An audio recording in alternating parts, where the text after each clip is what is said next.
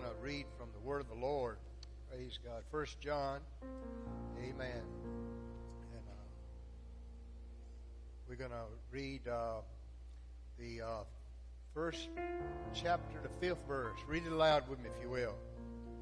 It says there, This then is the message which we have heard of him and declared unto you that God is light and in him is no darkness at all.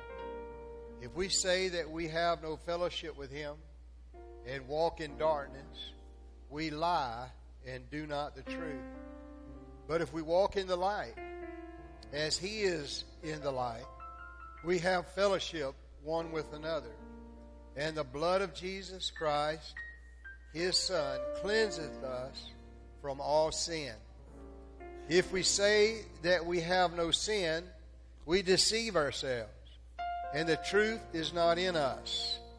If we confess our sins, He faithfully and is just to forgive our sins and to cleanse us from all unrighteousness.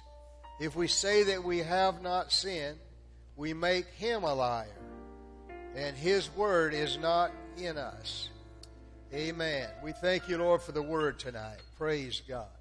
Amen. And so tonight I want to talk to you a little bit about light. Everybody say light. And I believe that we uh, should understand the light of the Lord. We don't any other way. Uh, Thomas Edison, I believe, found a lot to do with the light we're looking at above us here tonight. And uh, that, that's been important to us all our life. But there's never been a light more important than what I'm talking to you about tonight, and that's the light of the Lord Jesus Christ. And so we've heard several views in the Word of the Lord in First John, talking about light, walking in the light, and, uh, and it kind of clarifies things for us. Uh, but we would like to open it up and just see what the Lord would have to say about it uh, in this lesson and message tonight. Amen. And so, uh, thinking about light, as far as the Spirit goes and as far as God goes, uh, before person can ever come to the saving knowledge of Jesus Christ, the Bible says that that person is in total spiritual darkness. Everybody say total darkness. And uh, so, before a person can come, has come to God and say in the knowledge of God, he's in darkness. And then when he comes to God, then light becomes a part of his life uh, one comes to Jesus, the, that person is no longer in darkness once he comes to Jesus. But in following Christ, they have the light of life. How many has looked at or saw or experimented uh, and also enjoyed the light of life? Have you ever enjoyed the light of Jesus Christ in your life? Has He ever turned on a light in your soul? Has He give you a revelation of something and all of a sudden it was like a bright light come on and you just realized something that you hadn't realized uh, all your life it just come on that that happened with me you know in receiving the baptism of the holy ghost it wasn't i hadn't heard about it or wasn't taught about it it wasn't that i were, wasn't raised to know it and to believe it but to experience it you know from a faith standpoint and to see it for yourself in your own mind and own heart. All of a sudden, the light of Jesus Christ turning on in your life. What a joy. Praise God. Amen. And so, as, as such as they are instructed to no longer walk in darkness, we find, but as children of light, to walk in the light, the light of Christ and His Word. In John the 18th chapter, 12th verse in part, I'd like to read this. It says, I am the light of the world. He that followeth me shall not walk in darkness, but shall have light of life. And this is where we are tonight. We need light of life. You know, every now and then our candles get a little bit dim and you know, it seems like there's a little low flicker. You know, it seems like maybe it's given out of air or oxygen. Amen. And sometimes we just have to have a little more oxygen. Amen. Just a little more praise, a little more prayer, you know, just giving a little more thanks to the Lord. Amen. And then the light will begin to shine again in our life. Amen. So Christ tells us that He's the light here. He's the light of the world. And He said if we follow Him, we won't walk in darkness, but we will have light in our lives. And this is what we need tonight. We need all the light that God has for us in our life. Amen. I don't know about you, but I believe I know you enough enough to know that you would like to have all the light that He has to offer. I want to know everything that He wants me to know and that I need to know, don't you? Amen. There's a lot of things that gets confusion confusing to me. You know, as I go through life and as I begin to face uh, situations that I have never faced before, I begin to learn things that I have never learned or had knowledge of before. And so at that time, it's always a time when I'm searching for that light, you know, to give me some type of knowledge or wisdom or understanding or even a faith level to be able to get through that dark time in our life.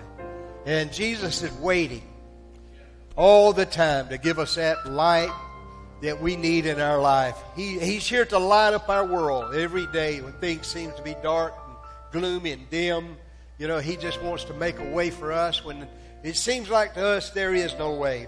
Amen. But we know that through the light of Jesus Christ, there is a way, and we have enjoyed that to this day, and we're going to continue to enjoy it. Can you clap your hands to the Lord?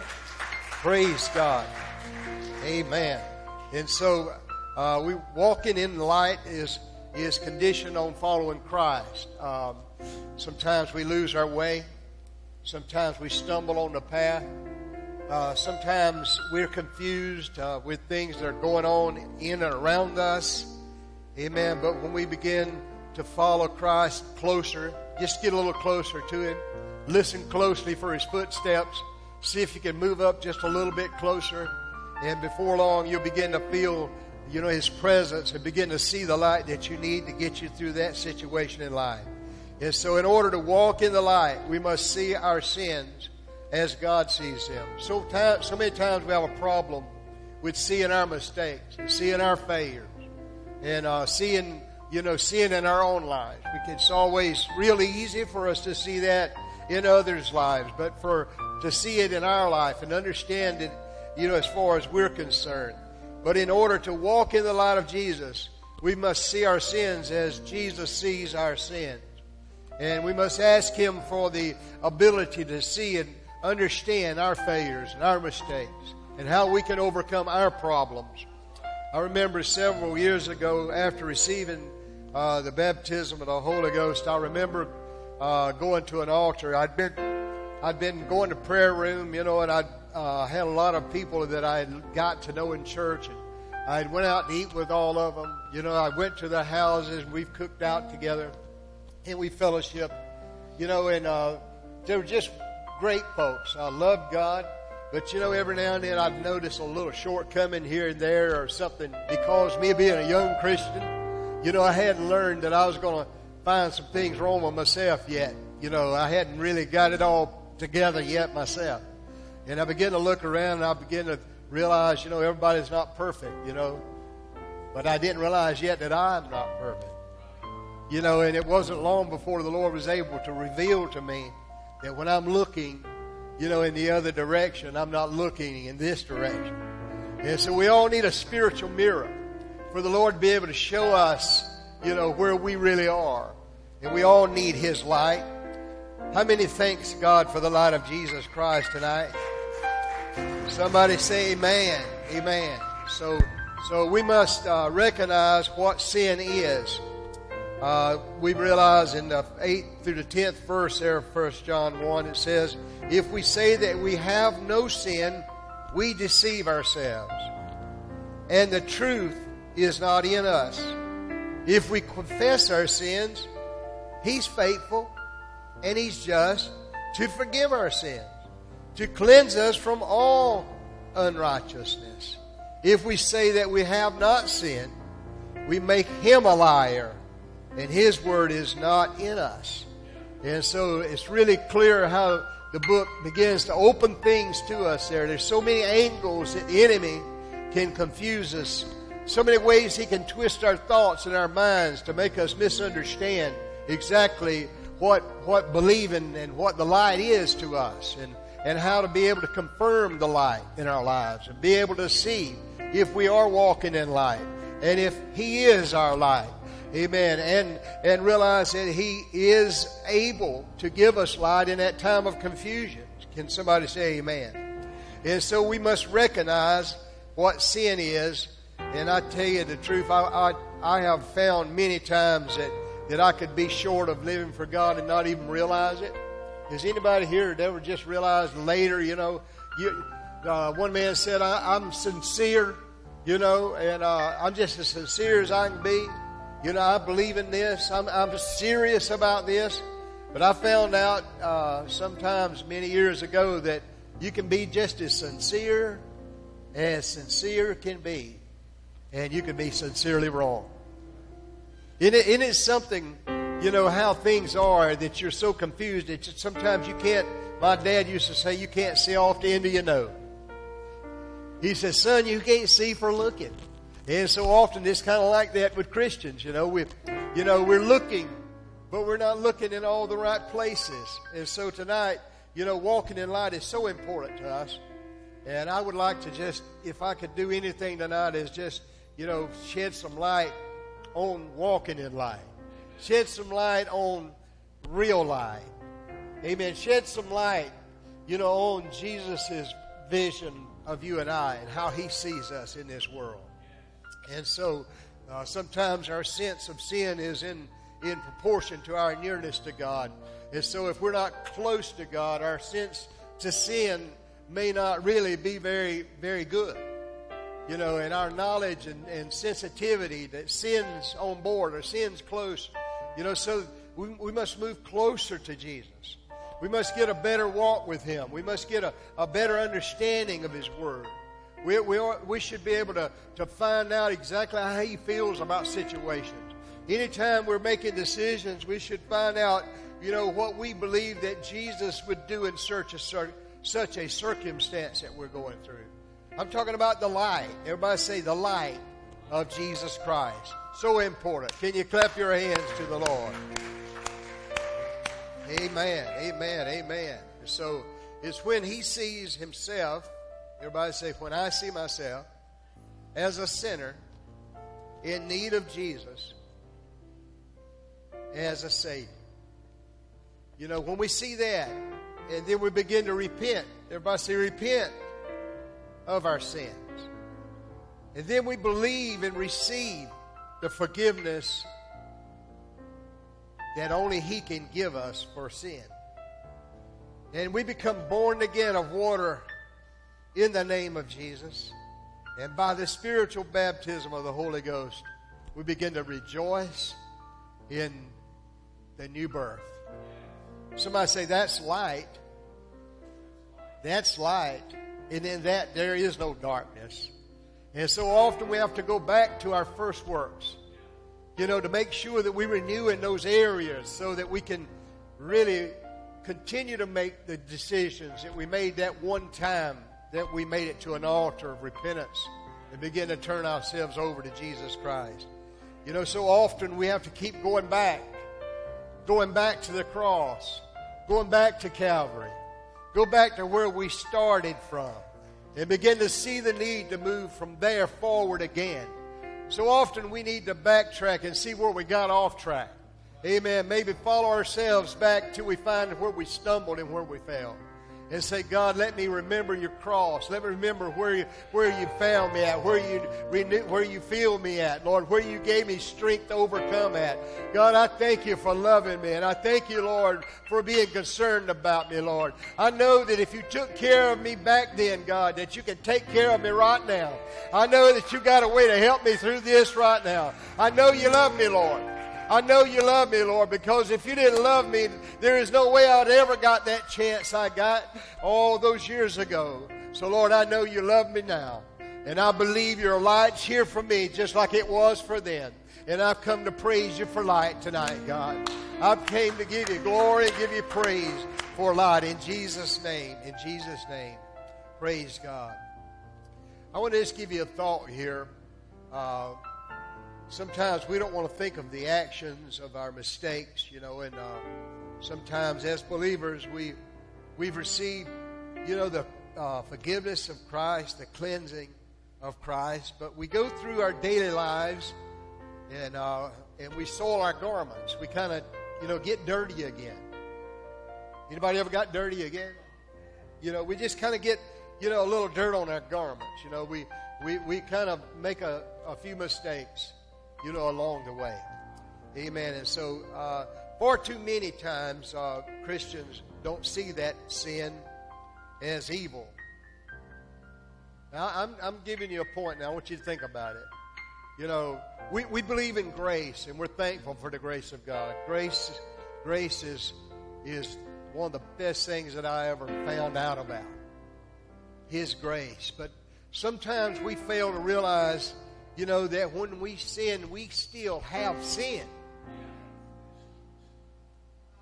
We still have sin.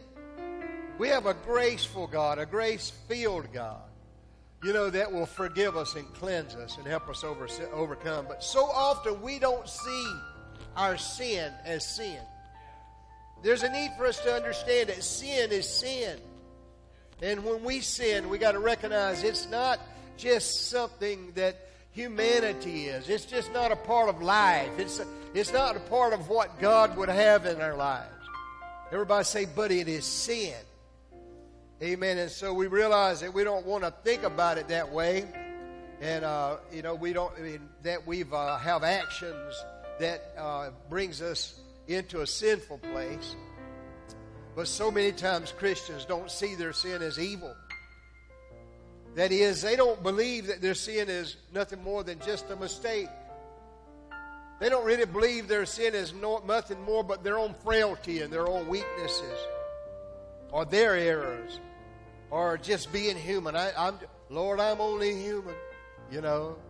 And so often we belittle and make sin so small that we don't realize how terrible and how damaging and how great it is to battle our victories and to bring us to a lower place and to rob our faith from us, to take away our belief in God and His ability to save us, His ability to wash us clean, His ability to help us overcome, and His ability to give us strength to say no to sin.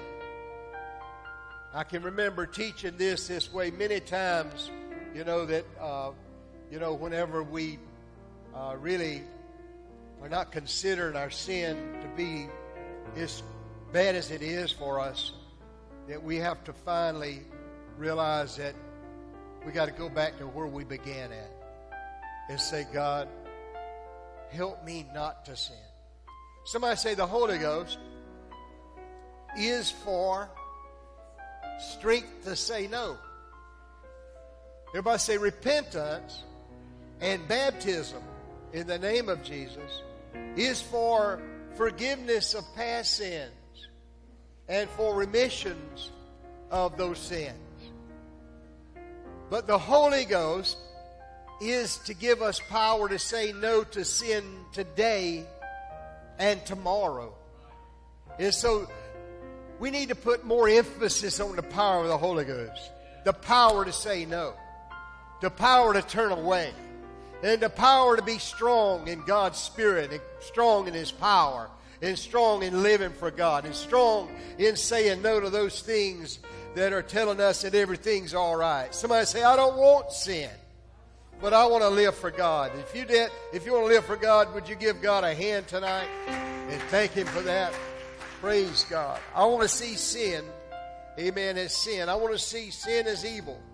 I want to, I want to see sin, you know, not as just an error or a mistake I made, or just me being human. I want to see sin as sin. And I want to see it in time before I fall and before I mess up. Amen. And, I, that's not to say we won't ever mess up, but it is to say that we're not excusing ourselves for any sin whatsoever, but we're getting a handle on our prayer and our walk with God so that we won't, you know, have to make some small excuse for something that'll take us to some great failure because the Lord Jesus Christ has brought life to you and I tonight. His life is here in this place tonight. His life is sitting right beside you. Why don't somebody pat the seat right beside you and say, You sit right here, Father? Come on, let's ask the Holy Ghost. Just, just have a seat right here by me. Amen. I need you, Lord. I need you to be close to me. I need to be able to see and reveal. I need you to reveal to me that light that you revealed to me so many years ago. Lord, that I might see where I'm failing at and where I may be going wrong at. In Jesus' name. Praise God. Hallelujah. Somebody say confessing sin. Confessing sin includes two actions, and I'm going to say this: these two actions tonight is uh, saying. Everybody say saying and doing. That's the only two actions that it requires to confess sin: saying and doing. It. It is saying the same thing about our sins, and it includes a forsaking of our sin. In other words, I say the same thing about my sin as Jesus says, and I'm forsaking my sin.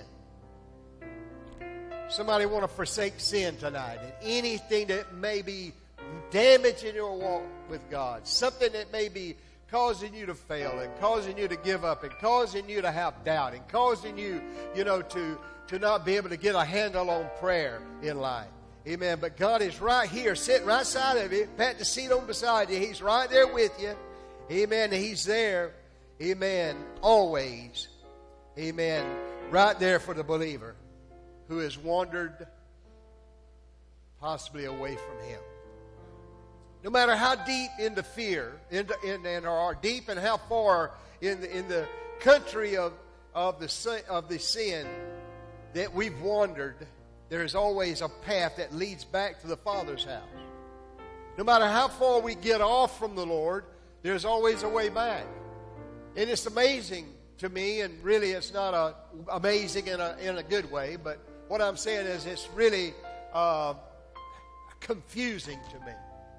It's confusing how that, that I can begin to get off track and how that, you know, I can get to the place in my life to where I believe somehow that I cannot find my way back.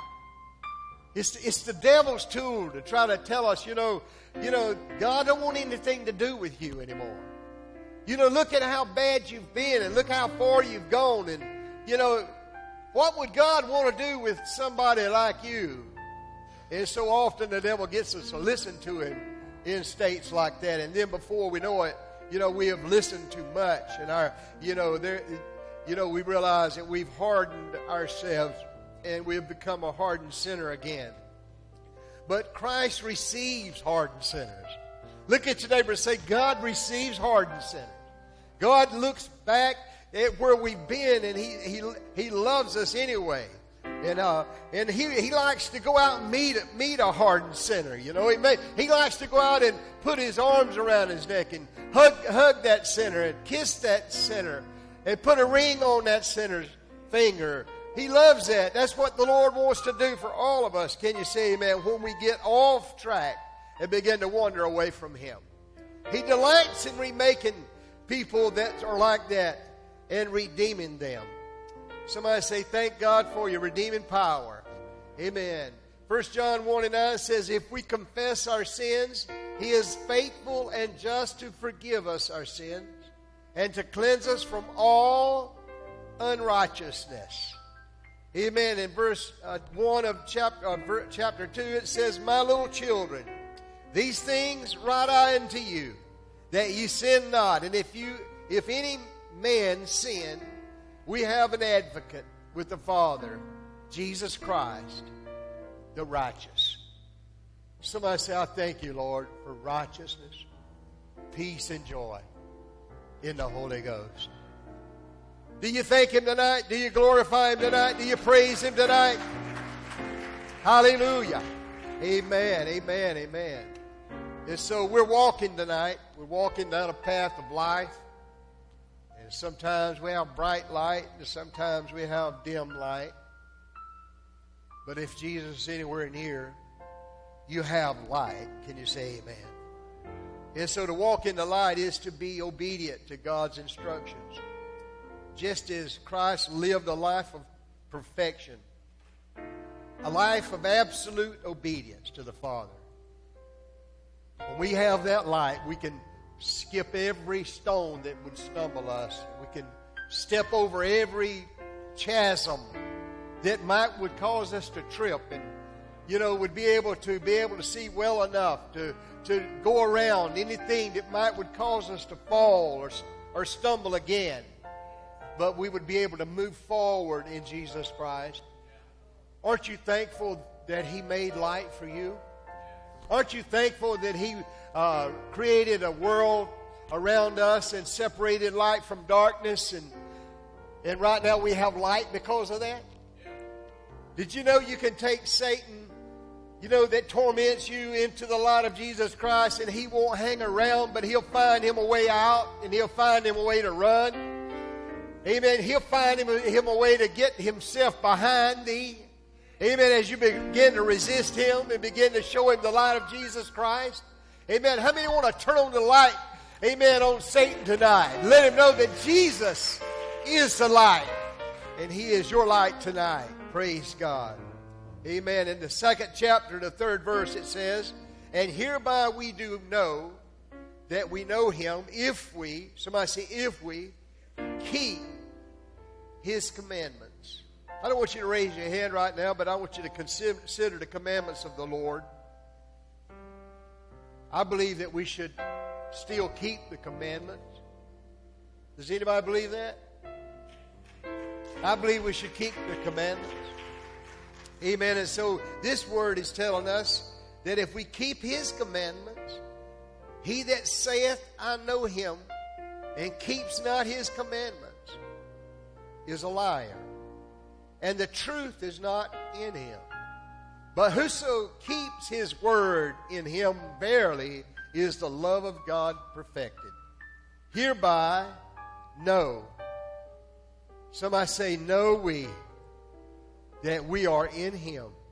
And he that saith he abides in him ought himself also to walk even as he walked. Somebody say, As Jesus Christ.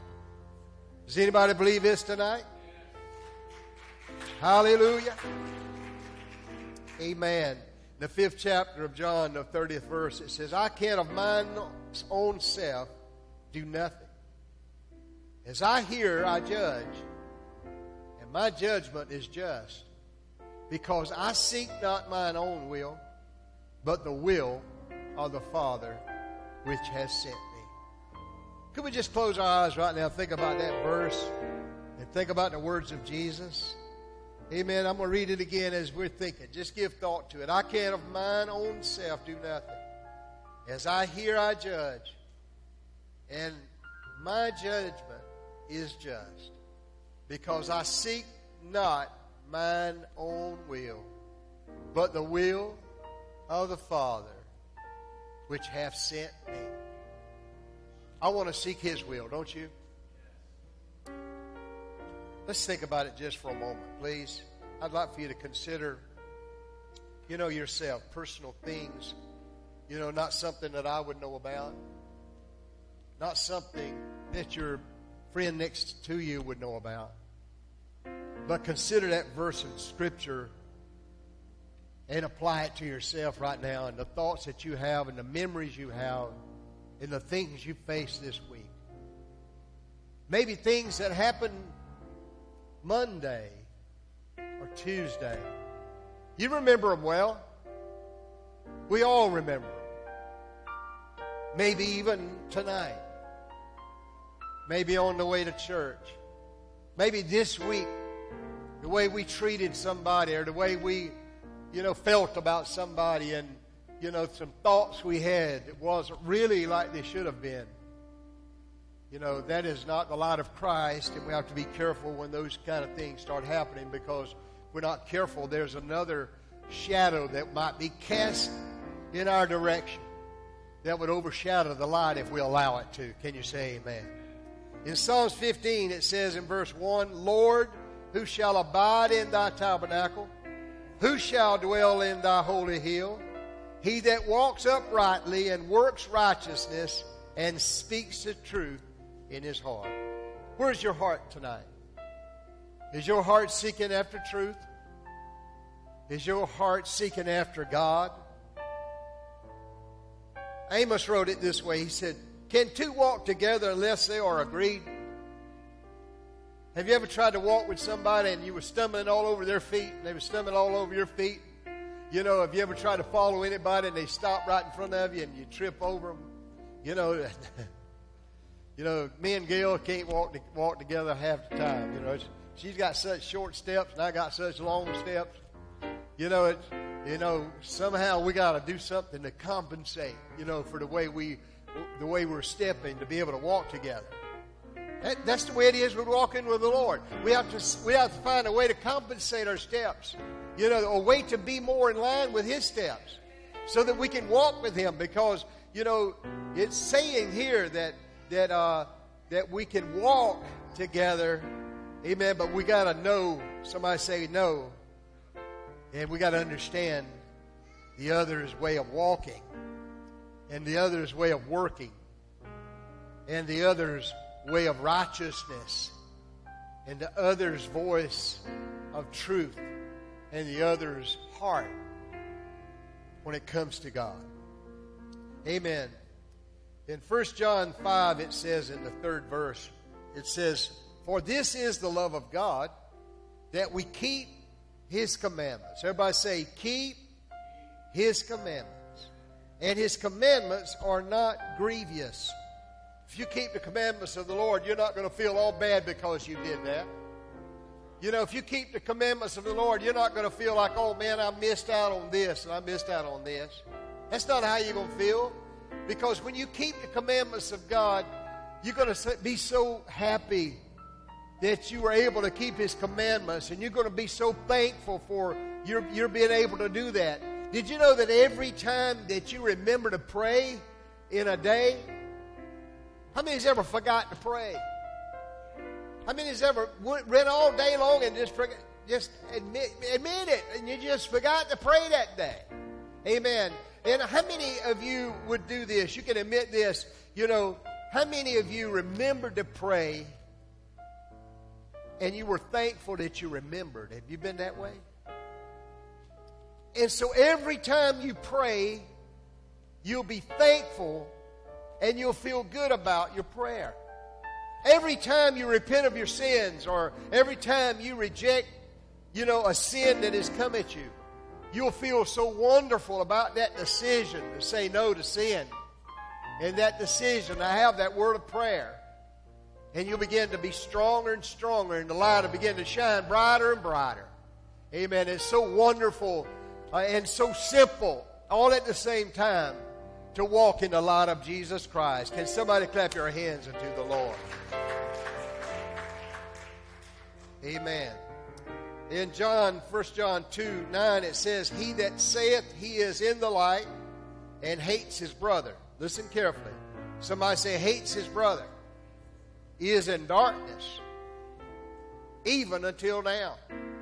He that loves his brother abides in the light and there is none occasion of stumbling in him.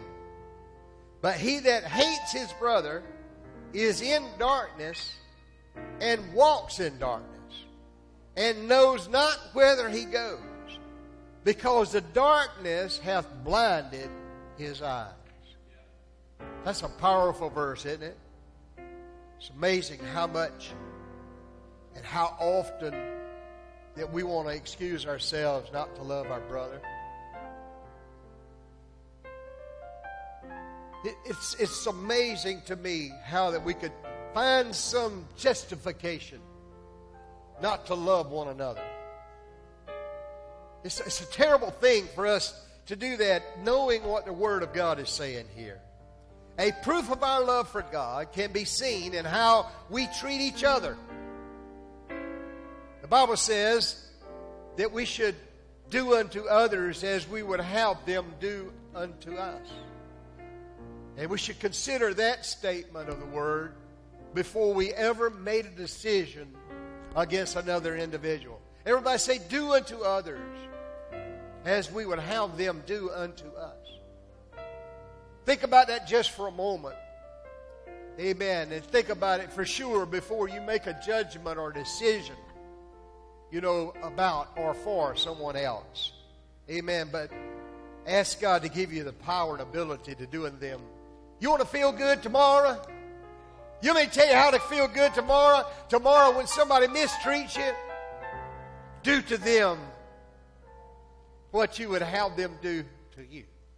And you'll walk away from that scene And I promise you, you'll feel real good. But if you do to that person what you would do to them and not what you would want them to do to you, then guess what you're going to feel like? You're going to walk away from there and you're going to feel like, you know, that is so terrible. I feel so bad about that. I wish I'd have handled that so differently. It's amazing how we don't even have to be preached to the word. We can live we can live this message at home and the word will come right back to us and it'll remind us that right after we've made that mistake. And it'll remind us how to do things right and how to correct things. It's a sad thing when a person that has known light all their life will not walk in light. It's a sad thing whenever we can justify our little sins and think that we're all right. But it's a wonderful thing when we allow the light of Jesus Christ to have power and control in our lives. Somebody say, I can do this. Come on, look at your neighbor say, I can do this. Somebody say, if I can do this, anybody can do this. How many can do this? Can you clap your hand unto the Lord? Praise God. Praise God. Love for a fellow believer. Look at your neighbor say, I love you. Love for a fellow believer will manifest a difference between God's children and the devil's children. Boy, it got quiet.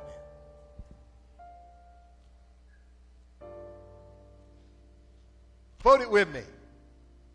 Quote this with me. Amen. Listen. Love for fellow believers. Look at David and say, I'm talking about you. My love for you. Tell him, my love for you.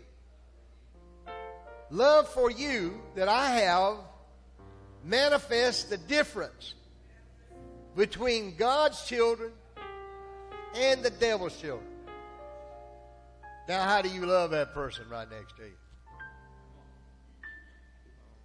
Somebody say, Great revelation. If you want a revelation, you get one. Can you say amen? If you want light on your pathway, God will give it to you. Can you say amen? Amen. God is bringing light to us in very simple way and simple term tonight. Amen. And I believe He's, you know, offering help to us in time of need, in time of trouble. Can you say amen? 1 John 3 and 10 says, In this the children of God are manifest, and the children of the devil. Whosoever doeth not righteousness is not of God, neither he that loveth not his brother.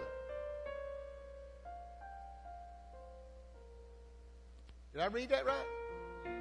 Did I read that right? Look at your neighbor and say, He read that light right. I'm going to read it one more time because I'm not sure I read it right. Is it all right if I do it again? In this, the children of God are manifest. Somebody say, This is how we find out who the children of God are. And the children of the devil are manifest. This is how we find out who's of the devil. Listen to this. Whosoever doeth not righteousness is not of God, neither he that loveth not his brother. Do you love your neighbor as yourself? Do you love your brother that's behind you, in front of you, beside you? Do you? Because it's important according to God's word. Can you say amen? So we should love our brothers and our sisters so much that we can we just can't wait until we can get together again on the Lord's day. Oh, I can't wait this Sunday to get together with you folks and I can't wait to be together with you in fellowship the next time. Come on, that's how people that love one another are. Amen. When I was a child, and I still am about the same way. My wife, you know, you know, kind of gets a little bit different in her feelings because she's got to do all the cleaning and all the wipe up and all the, you know, all of that kind of stuff. And you know, but you know, I just love company. Does anybody love company? Anybody? Amen. And I know somebody, some people don't love company. Now, my wife don't like a bunch of company because she she's afraid that she's going to cook and you know, and if she cooks, she's afraid she's going to mess up, and she's one of the best cooks in the world.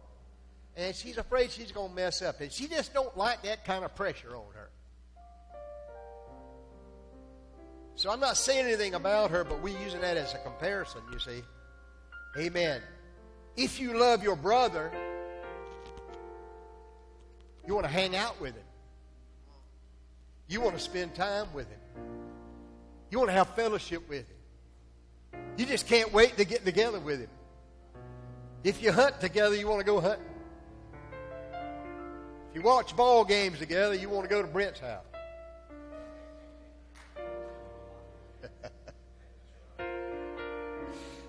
Somebody say, I want to love everybody. Amen. I want to love my brother. I want to love my sister. Amen. And I want to treat those nice that despitefully use me. And I want to be kind. And I want to do unto others as I'd have them do it to me. Could we just ask the Lord right now to help us with that because that's a need that we all have tonight is we need the ability to do unto others. So often it's hard to do whenever, you know, at the very time that you're needing to do this, you know, they may not be doing to you like you would do to would want them to. That's such a hard thing, but it should be that we work on that and allow this light to come to us tonight and allow God to give us strength to do unto others as we to have them do unto us. Is this all right, everybody? Is this all right? We getting anything out of this? Amen. In 1 John 4, 7 through 12, he said, but let, but let us love one another. Look at your neighbor and say, I love you. Let us love one another, for love is of God. And everyone that loves is born of God and knows God. He that loves not knows not God. For God is love, and in this was manifest the love of God toward us. Because that God sent his only begotten Son into the world, that we might live through him. Herein is love. Not that we loved God, but that He loved us and sent His Son to be the, perpetu- the perpetuation for our sins. Beloved, if God is God so loved us, we ought also to love one another. Look at your neighbor and say, I want to love you. No man hath seen God at any time if we love one another, God dwells in us and is his love is perfected. Everybody say in us. You haven't seen him, but when you begin to love one another, you know, his love is being seen and felt and experienced within you and also without. Can you say amen? So, uh, there's a country called Albania Anybody know about where that is on, on the globe? Europe. Okay, Albania. And I'll tell you a little bit about it. I, I wrote this down. I read it today. It says, I am told that in Albania, hospitality is evidently very common. It's a part of their culture. It's, a, it's, it's something they love to do. And it seems that from the fact that before communism, communism took over there, most Al- Albanians were Muslims. And as a guest would come to their house, even if he was a total stranger, he would be offered some tobacco to smoke. And he'd be given a seat next to the hearth, the fireplace. And he would be given a place of honor. And if he was traveled far the woman of the house would wash his feet.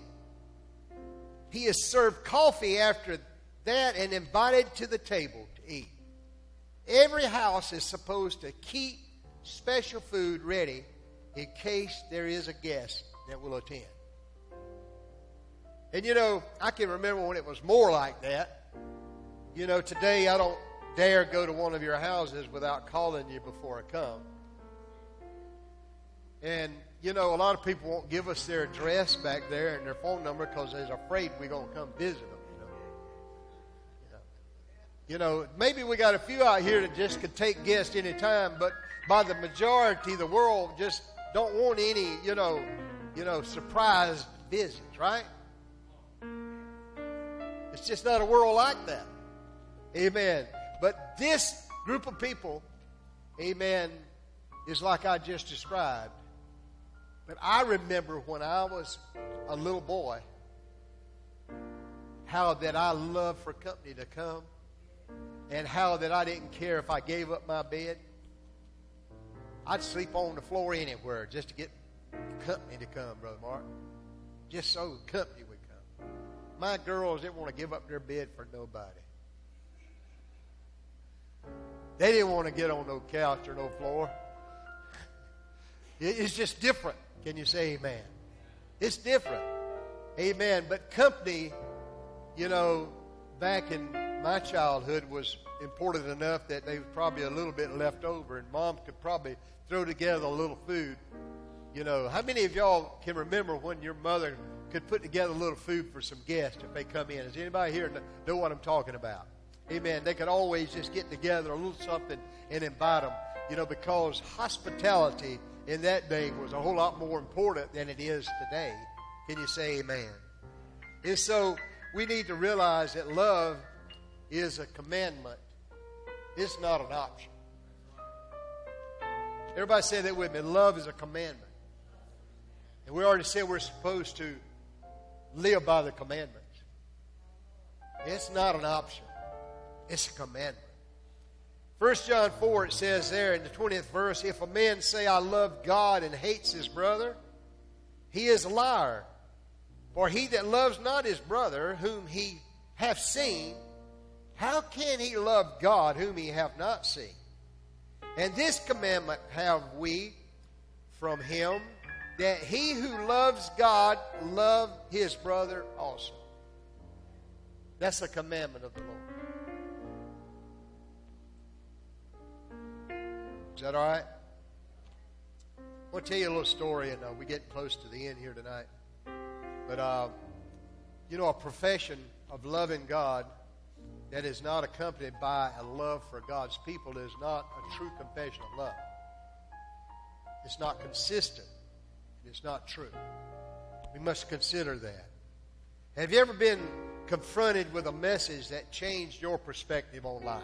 Has anybody ever had something told them that just turned on a light to you and it made you uh, look at things a lot different? And this is something I might even suggest we do. Maybe uh, we could get somebody that would like this idea good enough that we would implement it here in this church.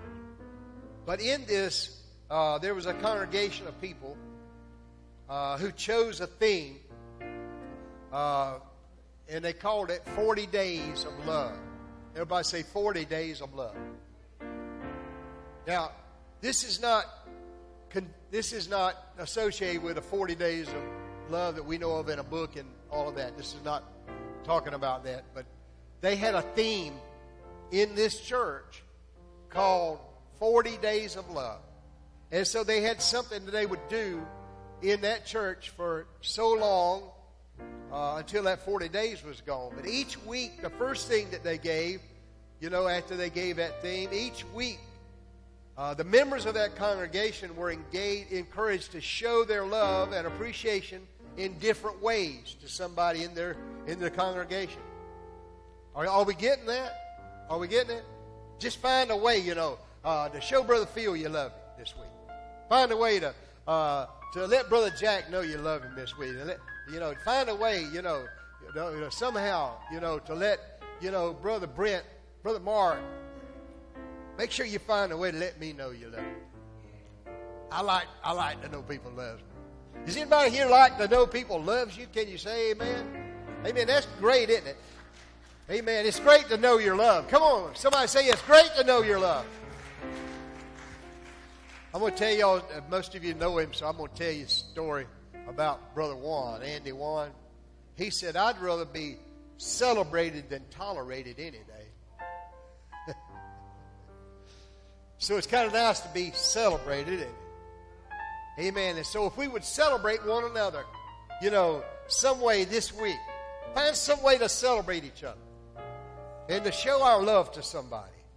Amen. And so this was what they were doing. So the first week, they encouraged, you know, everybody to send a note to somebody and begin to tell them, you know, how much they cared about them and give them some positive contribution in that note.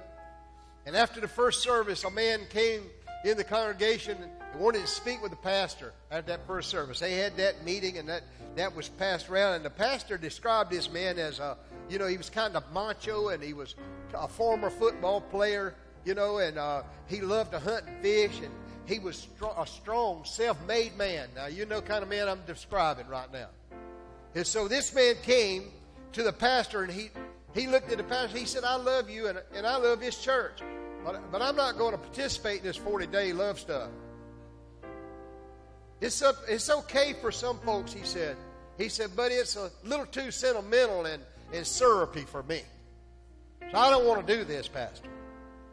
Amen. And so a week went by, and you know, and, you know, everybody did that, I guess. You know, uh, because the rest of the story is kind of looking a little better here. So the next Sunday, this man waited after church to see his pastor again, and and uh, so when he did, he he went to his pastor. He said, "Pastor, I want to apologize for what I said last Sunday." He told him about the forty days of love, and you know, and uh, I realized on Wednesday of this week that I was wrong, Pastor, and I just want to apologize for what I said about that. And uh, Pastor said, "Wednesday." His pastor said, "Wednesday." He said, What happened on Wednesday? He said, I got one of those letters. And the man said, And the letter came as a total surprise. And it was from a person the man never expected to hear from. I would have never thought he'd wrote me a letter. And it touched him so deeply, he now carries it around in his pocket all the time. And every time I read it, he said, I get tears in my eyes.